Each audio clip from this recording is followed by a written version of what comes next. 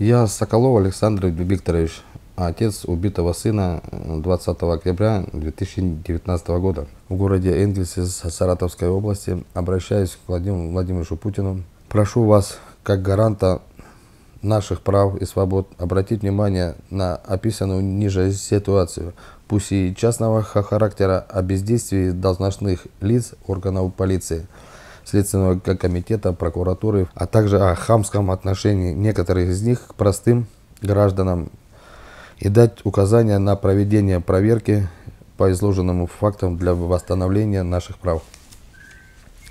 В октябре 2019 года в нашей семье произошло несчастье.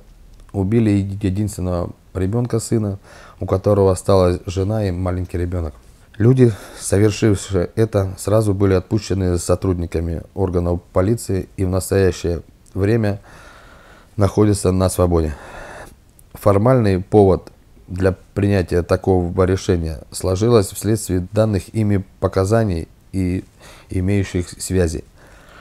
Более того, устно нам было заявлено следователям, что подозреваемые по возбуж... возбужденному делу по уголовному 105 часть 1 умышленное убийство освобождены в связи с необходимой обороной, с чем мы категорически не согласны.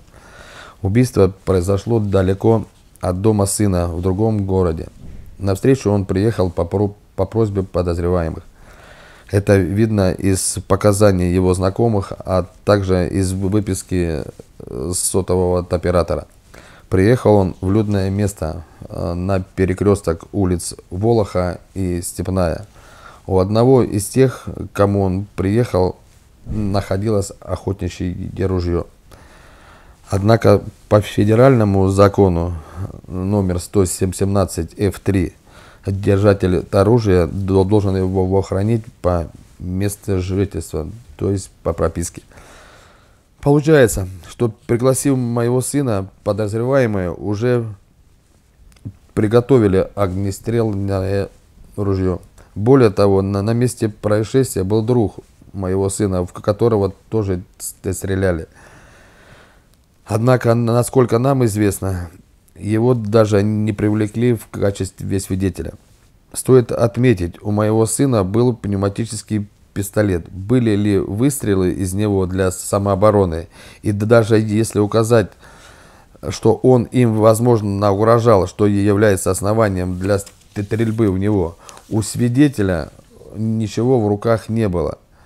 И оснований стрелять в него тоже не было. А самое главное, что напавших на сына было четверо. На сыне были обнаружены кровопотеки, ссадины и синяки.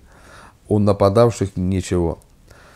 На наши устные просьбы следователю Семенкову ознакомить с делом, принять ряд действий, объяснить суть хода расследования, мы получаем отказы.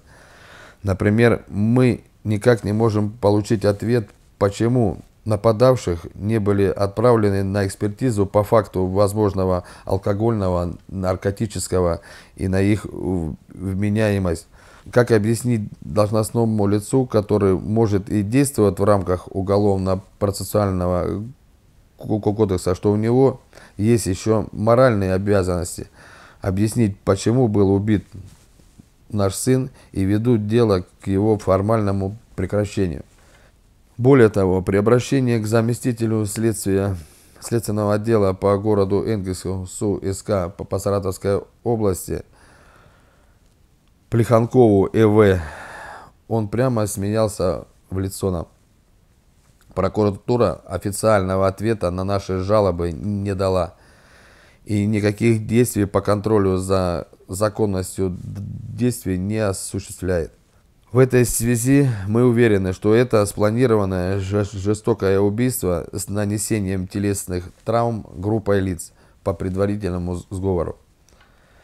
Представление формальных показаний, бездействие следователя и сбор доказательств с целью оправдать данные действия, а также халатное бездействие контролирующих органов не должны быть основанием для оправдания преступников.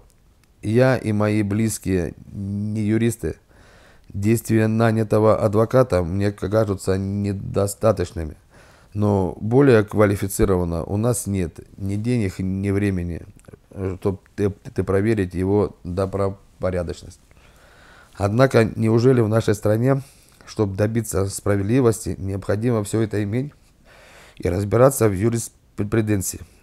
У нас есть твердое убеждение, что виновные в смерти моего сына, а также отца и супруга, должны быть по закону наказаны, а для этого должностные лица, по нашему мнению, обязаны всесторонне рассматривать все обстоятельства, либо хотя бы объяснить нам причину, не было ли сделано то или иное действие.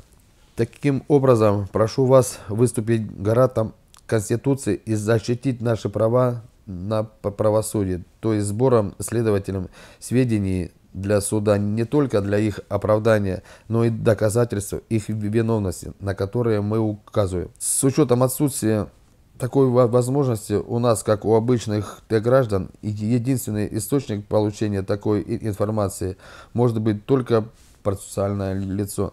Не внимая к нашей ситуации, ровно как и формальный подход к даче нам ответов, к сожалению, только подтвердил наше убеждение, что в России преступники гуляют на свободе, никаких прав и свобод нет у добропорядочных граждан, а система государственных органов давно забыла про тех людей, ради которых они были созданы, действуют в настоящее время, при этом на их же налоги.